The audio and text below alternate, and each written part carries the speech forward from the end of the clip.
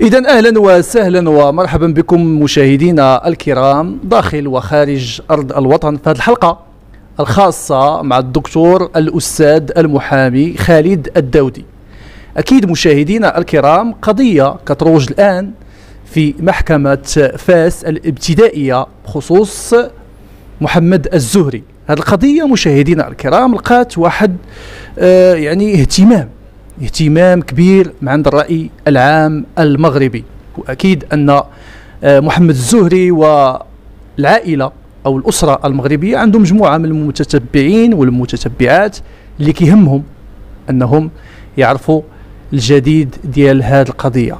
لهذا مشاهدينا الكرام اليوم كنصادفوا المحامي ديال محمد الزهري الملقب ببكرشة باش يزودنا مجموعة من المعطيات حول هذه القضية مشاهدينا الكرام. لهذا بغيتكم كاملين ترحبوا معايا بالأستاذ خالد الداودي. أستاذ خالد مرحبا بك. شكرا شكرا. لاباس عليك؟ لاباس الحمد لله. لكم مبروكة علينا وعليك وعيد مبارك للجميع جميع المغاربة. آه، فيما يخص آه، نزيلة الحال اللي هي قضية السي محمد الزهري. آه، كما تعلمون وكما صرحت من قبل بأنه الجلسة اللي فاتت كانت النيابة العامة وضعت واحد آه، المتابعة جديدة أو ما سميتها أنا بتمطيط المتابعة الأولى. لأن بالنسبة لي كانت نفس المتابعة ولكن حاولت النيابة العامة ت- تضخمها آه، و- وت- وتوسع فيها. آه، هذا هذا من جهة. الملف اللي جلسة اليوم الاثنين إن شاء الله بعد الغد ولي- من أجل المناقشة. من أجل المناقشة حتى يدخل الملف ل- للمداولة ويتم النطق في الحكم في الطريق اللي غتحددوا المحكمة لأن الصلاحية ترجع لها هي بالدرجة الأولى ط- بطبيعة الحال. أكيد. حنا خصوصا على بعد يعني ساعات ساعات قليلة على البت في هذه القضية. وهذه القضية آه، يعني مختلفة شوية على باقي القضايا. اللي دازوا بخصوص هاد ال- ال- يعني كل ما يتعلق باليوتيوب ومشاكل اليوتيوب وغيرها من الأمور. القضية شفنا بأن كانوا فيها مجموعة من التطورات ومجموعة من الملفات اللي تضافت في الجلسات. نعم أول آه نعم. اولا باش تعرفوا أن ال- المشاكل اللي كانت أو القضايا اللي كانت من قبل تتعلق باليوتيوب كانت تتعلق ما بين أشخاص ذاتيين. يعني طرف مع طرف. اليوم آه عندنا مشكل ما ماشي مع طرف أو مع شخص معين بل مع النيابة العامة اللي اعتبرت أن السي محمد الزهري كان تطاول عليها في سميتو أو حاول يمرر رساله بأنه تعرف الناس في النيابة العامة أو حاول أنه يأثر على القضاء. وهذا هو الطابع الخاص لنازله الحال واللي اللي أعطاها واحد الصبغة أخرى من غير غير الملفات ال- الس- السابقة اللي, تتعرفوا. آه، تضافوا شكايات. ليس هناك شكايات.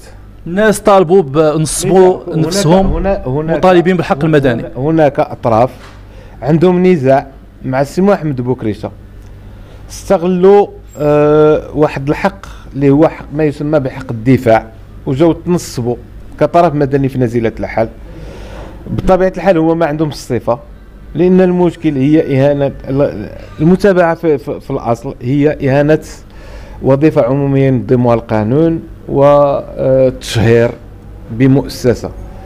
بالتالي هاد الناس اللي جاو ينصبوا راسهم كطرف مدني عندهم اولا خص العامه يعرفوا بأن عندهم ملفات مدرجة أمام القضاء. منها ملفات اللي صدر فيها قرار الحمد لله لفائدة السي محمد الزهري قضى ببراءته. عندنا ملفات اللي هي رايجة أمام القضاء ومازال ما قالش الكلمة ف- آه، ديالو فيها.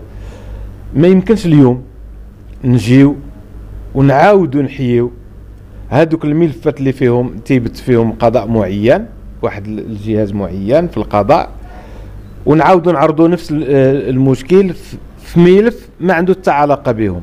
هذه مسائل اللي كنا حاولنا أمام المحكمة نقولوا تنقولوا بأن هاد الناس ما عندهم الصفة. كما قلت لك استغلوا واحد الثغره اللي هي الحق في, في الدفاع. هاد المسألة هذه أصلا ديال الحق في الدفاع غادي نحاولوا نناقشوها نهار الاثنين أمام الهيئة. قبل أي دفع أو دفاع هي الأولى غادي نناقشوها لأن آه آه، كي كي ما, ما آه تنشوفوا حنا أن كان في هذه المسألة إجحاف. حق السي محمد بوكريشه استعمال هذا الحق بطريقة تعسفيه كان فيه إجحاف في حق السي محمد بوكريشه لأن هناك أطراف طلعت على ملف لا علاقة لهم به طلعت على تقرير خبرة يت... فيه يتضمن مسائل شخصية لسي محمد الزهري. ما كانش عندهم الحق فيها وما كانش يمكن لهذيك المعلومات تنشر. بالطريقة اللي تمت عبر وسائل التواصل. إحنا كدفاع ديال سي محمد بوكريشة تن تنستنكروا هذا هذا الحركة هذه اللي تمت ديال نشر هذه الوقائع هذه تنستنكروها بشدة. بطبيعة الحال المحكمة ما كانتش خاطئة لأن كانت تطبق واحد المسألة واحد المبدأ اللي هو حق ما يسمى حق من حقوق الدفاع. أن الدفاع عنده الحق يطلع على الملفات بمجرد أنه يتنص في الملف. المحكمة ما كانتش خطا في هذا الإطار هذا ولكن تنقولوا بأن الأطراف الأخرى اللي كانت عندها غايات معينة توصلت لها بط- بطرق ملتوية. حنا تنستنكروا هذا الفعل هذا وتنقولوا أننا المهم من هنا للقدام. عندنا لقاء إن شاء الله. عندنا لقاء من هنا للقدام فيما يخص هذه النقطة هذه. النقطة ديال الخبرة تسريب الخبرة. شنو هما النقاط اللي تسربوا؟ وما كانش خصهم يتسربوا. اولا شنو شنو اللي شنو اللي ما كانش خصو يكون في الخبرة. الخبرة الأمر اللي صدروا السيد وكيل الملك كان يتعلق بإجراء خبرة على الهاتف ديال السي محمد بوكريشه إلا أننا تفاجئنا أن هذه الخبرة تجاوزت هذه المأمورية هذه وتم طلب إجراء آه تم طلب قدم إلى ال- البنك اللي تيتعامل معاه الموكل ديالي وبالرغم أن هذه الكشوفة تتم عندها السرية ديالها والصبغه السرية ديالها نتفاجئوا بأن الضابطة القضائية بكتاب من السيد رئيس المصلحة ديال الأمن بمدينة فاس تيطالبوا السيد مدير ال- البنك باش يعطيه جميع الكشوفات ديال الحساب البنكي. هذا ما أضيف إلى الخبرة وهذا ما كان لا يجب أن لا يكون وهذا ما كان لا يجب أن يسرب. لأن حتى تسريب المعلومات ما تمش بالطريقة الصحيحة. والمعلومات اللي تم تسريبها تم خطا بحيث هناك من صرح بأن سي محمد بوكريشه يتوفر على 100 مليون في الحساب. وهذه وهذه كلها مغالطات. هادشي كل شيء آه، لا أساس لهم الصحة. كل شيء مغالطات. أنا ما يمكن ليش نكشف على الحسابات البنكية ديال لكن الموضوع ديال 100 ديالي. مليون خطأ. ما كاينش حتى جوج د ريال في- في في سميتو الا بغينا بال- بال- بالمعنى الدارجي ديال سميتو. مقارنه مع ال 100 مليون. ما كاينش. سي محمد بوكريشه كان هي التي تتعامل تي- تيسير الشهر بالشهر في هذا الإطار هذا. إلا كما كان ماشي هذا هو الم- المهم عندنا وماشي هذا هو الموضوع الموضوع لماذا تمت هذه الخبرة؟ واش هناك قانون يحرم أو يضرب يعني يجازي ضريبيا هاد الأفعال هذه واش سمو محمد بو آه، الزهري كان متابعه بخ- بشي اختلاس كان متابع بشي جريمة مالية من جرائم الأموال. باش نقولوا نجريو حساب عليه. واش هاد السي محمد بوكريشه مطالب ضريبيا باش نجريو خبرة على الحساب ديالو. هذه مسائل اللي ما ما, ما, ما تنتقبلوهاش وما يمكنناش نهكو الحقوق الشخصية ديال ديال الأفراد باسم القانون. مما لا شك فيه إن الهيئة المحترمة وأنا تنعرف هذيك الهيئة عندها واحد تكوين قانوني كبير بزاف. غتحط هذه المسألة هذه وغتضرب هذه المسألة وسوف تستنكر إلى جانبنا هذه المسألة هذه مجموعة من المتتبعين أستاذ قالوا بأن المحامي ديال محمد الزهري لماذا لم يطلب السراح المؤقت لبكريشة؟ هذه معلومة بعد صحيحة أو لا؟ إلى أي حد هذا الكلام صحيح؟ هذا سمعتي أنت هذا الشيء؟ هذا هذا السؤال وضعوا لي هذيك الساعة من بعد. ما خرجت من من الجلسة وما بغيتش نجاوب عليه. لأن ما غاديش نجاوب عليه. لأن هذا مسألة تدخل في العمل ديالي. أنا أقوم الملف. أنا تنعرف وقاش يمكن لي نتقدم بالصراح يمكن تنعرف وقاش ما يمكن ليش نتقدم بالصراح المحكمة استجابت للطلب ديالي باش أن المهلة ما تكونش بعيدة. قرات باش أنها تكون آخر مهلة للجميع وباش تكون الجلسة من بعد أسبوع بالرغم من من من, من العطلة ديال العيد و وحنا داخلين تاع العطلة الصيفية وهذه. المحكمة مشات معايا في واحد الاتجاه معين وأنا حرصا على وقت المحكمة. أنا ترى سميتو أنا أنا أنا واحد الإنسان اللي آه ما تنتعاملش مع الملفات بطريقة عشوائية. أنا تنخدم الملفات بعقلي بذكاء بموضوعية. بالتالي المحكمة أنا نمشي نمشي, أبعد من هذا. المحكمة رفضت لنا الصراح في, في الجلسه اللي من قبل وكانت عندنا متابعة وحدة اللي هي إهانة وظيفة ينظمها القانون والتشهير. اليوم في هذه الجلسة اللي اللي دازت تيقول لك علاش ما طلبناش فيها الصراح؟ تصدفت متابعات أخرى. لا كانت المحكمة رفضت لنا الصراح. في جناح اللي كانت تشوفها وتنشوفوها حنايا. راهم متبعين حتى هما عبر وسائل الإعلام. تنشوفوها حنايا ما ما عندهاش الأساس القانوني. كيفاش في الجلسة ديال اللي فاتت؟ تعطيه الصراح من بعد ما تمت إضافات معطيات جديدة. ما مطلعاش عليها حتى المحكمة. وتقرير جديد ما مطلعاش عليه حتى المحكمة لأن تن تنأكد وتنعاود نقولها بأن هذاك التقرير وهذاك المتابعه ديال النيابة العامة تحطت في الجلسة ماشي قبل من الجلسة لأن مشينا حنا قبل من الجلسة باش نطالعوا على المعطيات اللي كاينة باش لقينا المتابعة اللي تضابطها النيابة العامة نطلعوا عليها ديك الساعة وندخلوا جاهزين للملف ونناقشوه.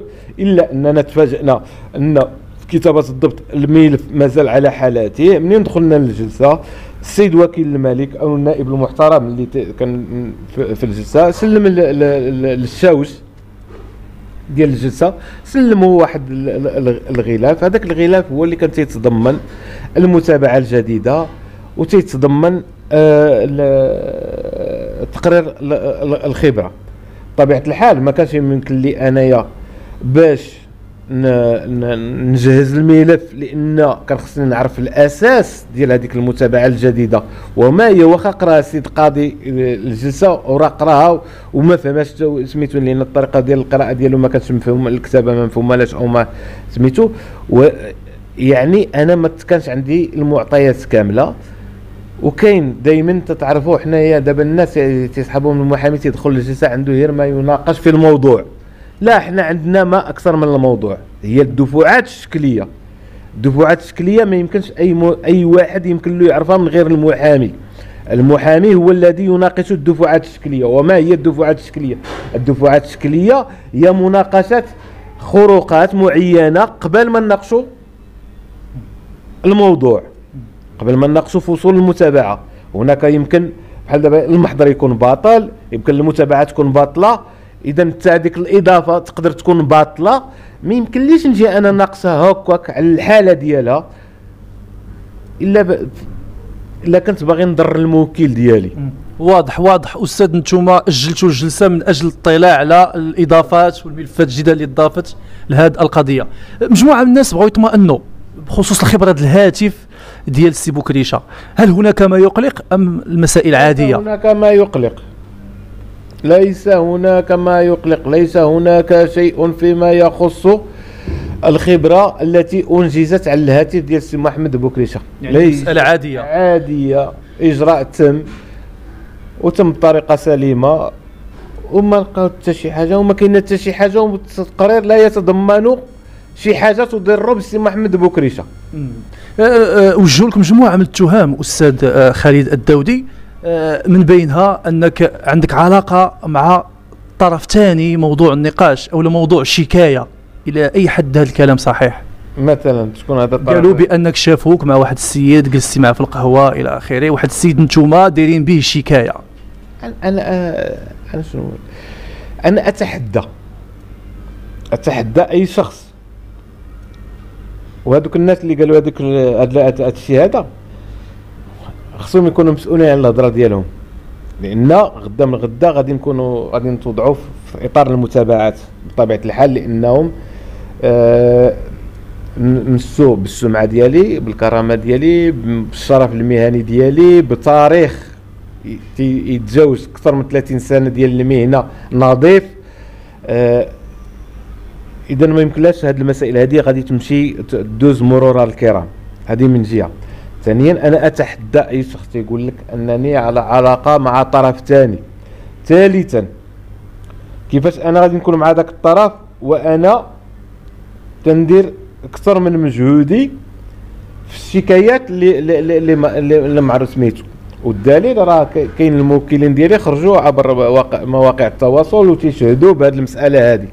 بل أنني كنت نخلي الخدمة ديالي في المحكمة والجلسات وتنمشي والشيء اللي ما تيديروش واحد اخر ونمشي ونحضر معاهم الضابطه القضائية وكل واحد تنوصلوا للمكان البلاصه ديالو فين خصو يستمعوا له هذا كيفاش يعقل أنني تنقوم بهذا المجهود هذا كامل؟ وغادي نكون تنتواطأ مع واحد الشخص معين. هذا هذا هذا هذا من زي- أكثر من هذا. كيفاش أنني تنوجد شكايات أخرى لأطراف أخرى. ناس تضروا من أفعال ديال واحد السيد معين. هذا السيد اللي تتهضروا عليه نتوما أنا ما تنبغيش نسمي ب- بالأسماء. وأنا تنجري في شكايات أخرين. وغادي نمشي نتو... نجلس معاه ولا نتعامل معاه ولا أكثر من هذا حتى مهنيا. حتى مهنيا القانون المهني تيمنعني باش نقوم بشي فعل مادي تيمنعني أنني نتعامل أو نجلس أو نناقش مع الخصم ديال الموكلين ديالي. وأنا مهني والكل تعرفني مي- آه، سميتو يمكن راكم جربتوني. أنا مهني بزاف حتى في التصريحات ديالي راه شفتوا أنني مثلا سميتو راني مهني أكثر من القانون. تنتثبت بالمهنة ديالي بالأخلاق ديالي سميتو. اذا أنا تنتحدى أي واحد يجيب لي دليل بسيط. بأنني وأنا عندي دلائل عندي دلائل بأن العكس ديال هادشي اللي تيتروج عليا هو هو اللي واقع. العكس هو اللي واقع. ماشي آه هذا الاتهام ال- ال- الباطل اذا آه، أنا عندي عندي حاجة وحدة أن الموكلين ديالي اللي تنو عليهم حاليا تيثيقوا فيا ثقة عمياء. وهذا تيشرفني. وبالتالي ما يمكنليش نخذلهم وغادي ندير كل مجهودي. وما يمكن ليش نبيع الملفات ديالي أو الضمير ديالي بهذا الأسلوب هذا لأن هذا أسلوب حنا تن ما تنبغيوش يتقال هناك اتهامات توجه للمحامون بصفة عامة أن فلان باع الملف ولا أو فلان وهو شيء غير صحيح. ما كاينش شي محامي تيبيع ملف وما تيبيع وتيبيع ضميره لأن العمل ديالو هو رسالة تيعتبره دائما رسالة وتيعتبره آه، عمل إنساني أكثر ما من هو مادي.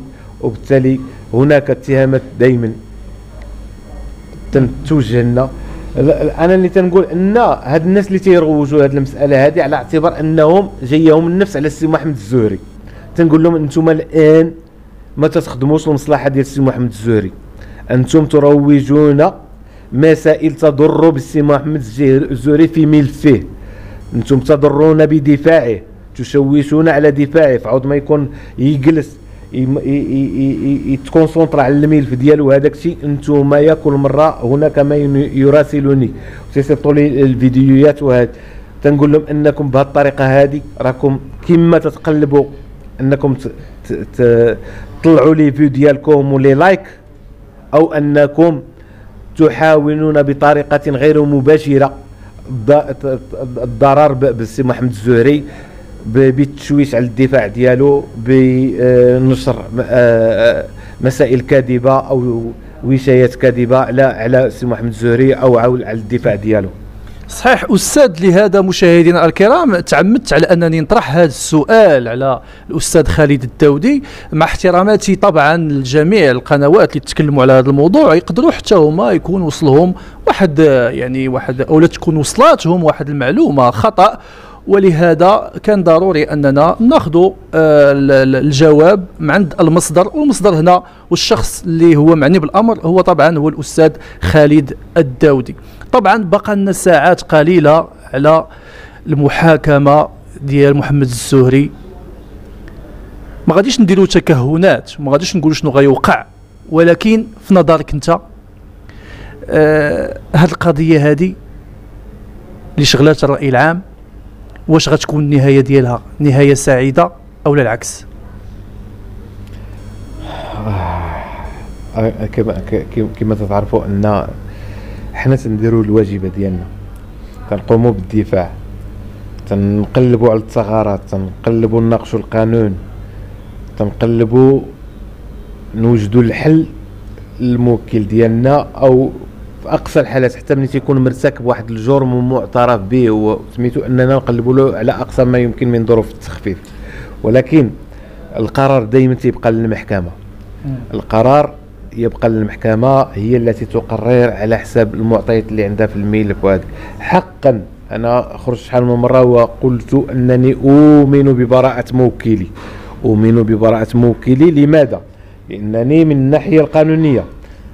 تنشوف بأن المتابعات اللي تحركت ضد السي محمد الزهري ما كانتش عندها شي ركيزة قانونية أو مرتكزة على أسس قانونية محضة. آه المتابعة في تلك الفصول. قابلة للنقاش لأن تلك الفصول تحدد ما معنى الإهانة. تحدد ما تتحدثش هي العقوبة.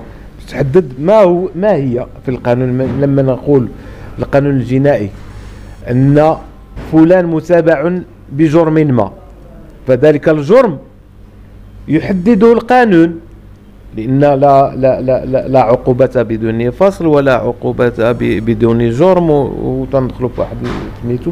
اذا القانون باش يوضع حد لكل التجاوزات تيحدد لك شنو هو هذاك الفعل.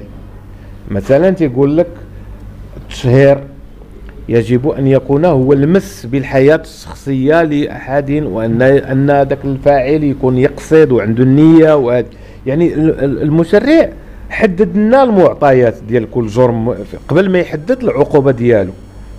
وعطى واحد السلطة تقديرية للقاضي باش يتعامل مع الملف مع المعطيات مع الأفعال ويقدر في الوقت اللي يكون الجميع تيشوف بأن ذاك السيد هذاك المجرم أو هذاك المتهم مدان القاضي يشوف بأن من خلال السلطة التقديرية ديالو بأن ذاك السيد بريء. اذا ما يمكنناش نتكهنوا بالعقوبة ولكن أنا كدفاع ديال سي محمد الزهري ويمكن البعض غادي يقول أنني تنتكلم بالعاطفة أنا تنشوف أن السي محمد الزهري في هذا الملف يستحق البراءة. ولكن كما تنقول السلطة التقديرية تترجع لسميتو وإلا غادي نكونوا ترتكبوا حتى حنا الخطأ اللي ارتكبوه.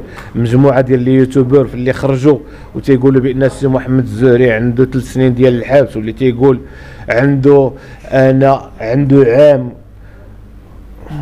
بالنسبة لهاد الناس اللي صدرات هاد الأحكام واش غتكون شي متابعة قانونية ضدهم ولا تخليوها دوز هكاك مرور الكرام؟ بصراحة آه لا مشينا بقينا متبعين هذا الشيء هذا ما غاديش نساليه ولكن اللي تنقول أن النيابة العامة إلا كانت شافت في التصريح ديال السي محمد الزهري إهانة للقضاء أو محاولة للتأثير على القضاء فماذا تقول فيما يخص هذه التصريحات؟ أقول السيد وكيل الملك الآن أصبح واجبا أن تتحركوا. هذه مسائل ما تتضمنش أطراف أخرى تدخل على الخط وتقدم شكايات هذه مسائل تستوجب لأن هذه نشرت على العلن. وماشي عبر مواقع التواصل. وماشي في المغرب في العالم كامل. تنقول جات الوقت السيد وكيل الملك المحترم باش تدخل على الخط وتقوم. اولا بتحريك الشكايات اللي تقدمنا فيهم فيما يخص في تصريحات تم تهين القضاء ثانيا نقول إنكم ما يمكن لكمش تبقاو ساكتين وخصكم تخرجوا حاليا وتتابعوا هاد الناس هادو لأن هادو هذه تصريحات مباشرة.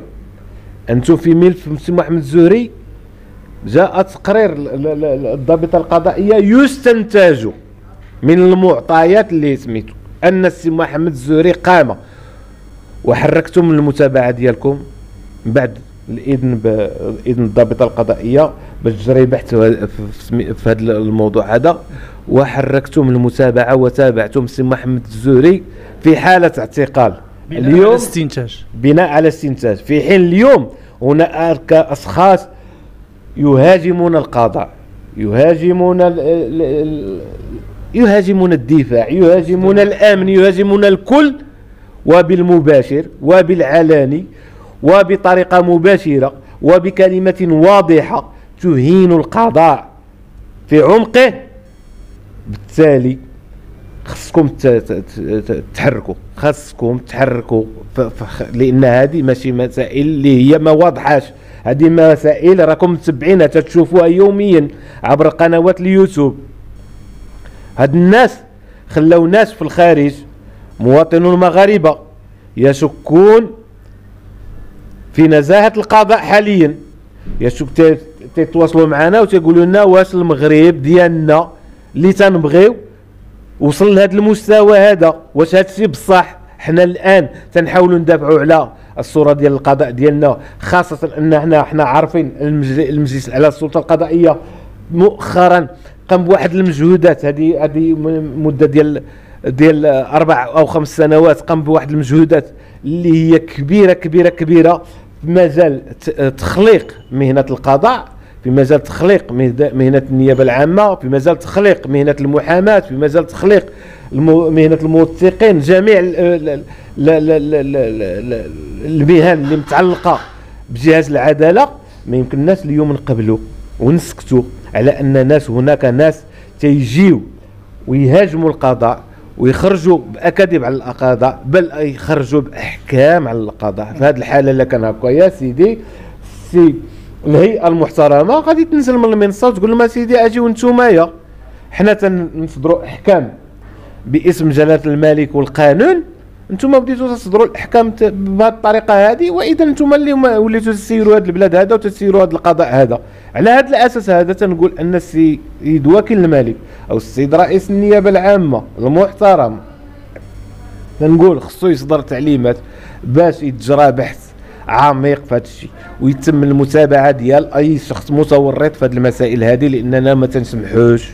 حنا تنهضروا يمكن توقع مني شي جلة لسان في هذا الإطار لأنني أتكلم بغيره على على مهنة أحبها. أتكلم بغيره على قضاء آه، أحترمه. أتكلم عن قضاة أعرفهم آه، معرفة جيدة لنزاهتهم وحسن خلقهم وتكوينهم. ما يمكنليش نقبل يجي واحد الإنسان مشى شد جوجل وقرا واحد الفصل وجا تيبقى تيتفلسف علينا هنايا وتيصدر أحكام في في في في في عبر منصة التواصل. هذا شيء مرفوض ولكن باش نقولوا مرفوض خاص الأجهزة الأمنية خاص الناس المسؤولين يتحركوا في نازله الحل لأن إحنا ما عندناش السلطة ديال المتابعة هما اللي عندهم السلطة وخصهم يقوموا بالواجب ديالهم. أكيد. شكرا أستاذ الدكتور خالد الدودي شكرا مشاهدينا الكرام. طبعا طبعا المتهم بريء حتى تثبت إدانته. وأيضا الرحمة. الرحمة هي روح القانون والنطق بالحكم هو عنوان الحقيقة. إلى يوم الاثنين إن شاء الله. قبل ما بغيت نقول كلمة واحد الكلمة أخيرة للمتابعين اللي قال لك علاش ما أنا كنت أتمنى. راك تعرفوا إحنا مغاربة. غنهضروا بالدارجة دابا إحنا مغاربة. وتنعرفوا شنو معنية العيد بالنسبة للأسرة المغربية. أقسم بالله أنني فكرت في يسرى وفي فاطمة الزهراء وفي لبنى في هذا العيد هذا وقلت الأب ديالهم ما معاهمش والزوج ديالها ما معاهمش وهذه كنت أتمنى أن السي محمد الزهري يدوز العيد مع وليداته. للأسف أن الظروف مشات خلاف ذلك ولكن تنوعدكم أنني غادي ندير كل ما في جهدي باش نوصل الرسالة اللي حاملة في صدري للقضاء. والقضاء له كما قلت الكلمة الاخيره وإن شاء الله بإذن الله ما سوف يكون خيرا إن شاء الله بإذن الله. إن شاء الله وعسى أن تكرهوا شيئا وهو خير لكم مشاهدينا الكرام. كيف ما قلت الرحمة هي روح القانون والنطق بالحكم هو عنوان الحقيقة. يوم الاثنين أكيد يكون عندنا اتصال مباشر مع الأستاذ المحامي خالد الدودي باش يعطينا آخر المعطيات. وطبعا إحنا دائما كنتمناو الخير. ولا شيء سوى الخير مشاهدينا الكرام. عواشر مبروكه دمتم في رعاية الله وإلى اللقاء.